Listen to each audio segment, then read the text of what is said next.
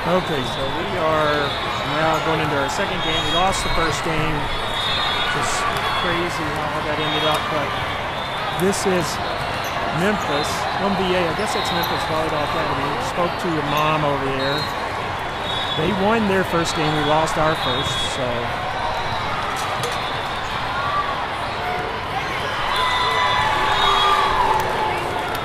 terrible the first set. Came back and played well the second set. Hopefully we can start off on a good note here. So, of the seven games that we played in Atlanta, we were competitive or should have been competitive in six of those games. The Alliance team out of Nashville, they were just way out of our league. This is one that we actually played much better in. We took it to three sets here in this game. So it was good seeing the girls fight and get their game going. In this game, Avery had her best hits of the tournament. She really was hitting the ball at the front line really well in this game.